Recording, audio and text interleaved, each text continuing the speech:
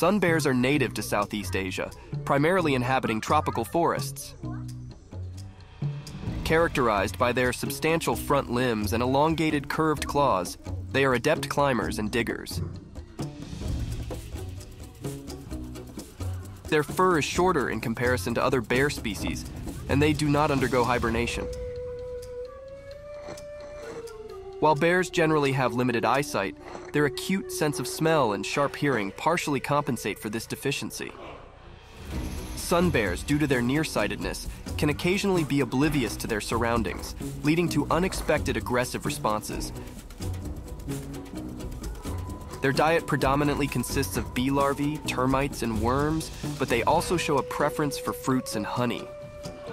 Their proficiency in breaching bee nests to access honey is remarkable, and the reason they're also sometimes referred to as honey bears,